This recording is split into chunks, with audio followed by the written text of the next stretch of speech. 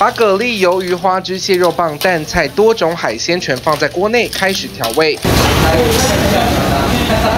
另一头已经处理好的鱼蛋写上价格，旁边还有盒装白虾，这一道道美味海鲜团本本都是要给早已订好的旅行团享用。花莲海鲜名店业者却在前一天深夜接到电话，是旅行团的，那它里面有人被隔离。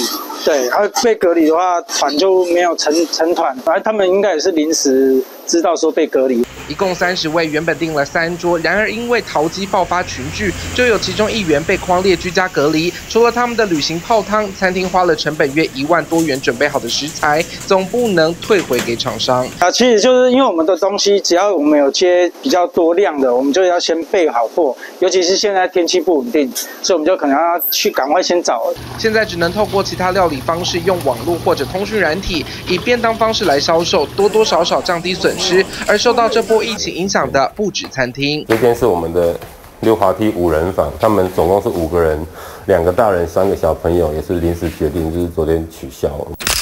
业者收到消息，客人表示原本订好的房间也付好定金了。但因为住在中立，近日爆发的淘机疫情影响到出游意愿，得取消订房。也陆陆续续，基本上这几天其实都有接到客人的询问，就是万一疫情只要一升级的话，他们要取消的一些办法这样子。也看中央疫情是否会继续升级，我们也会采取其他的必要的一个流量的控制。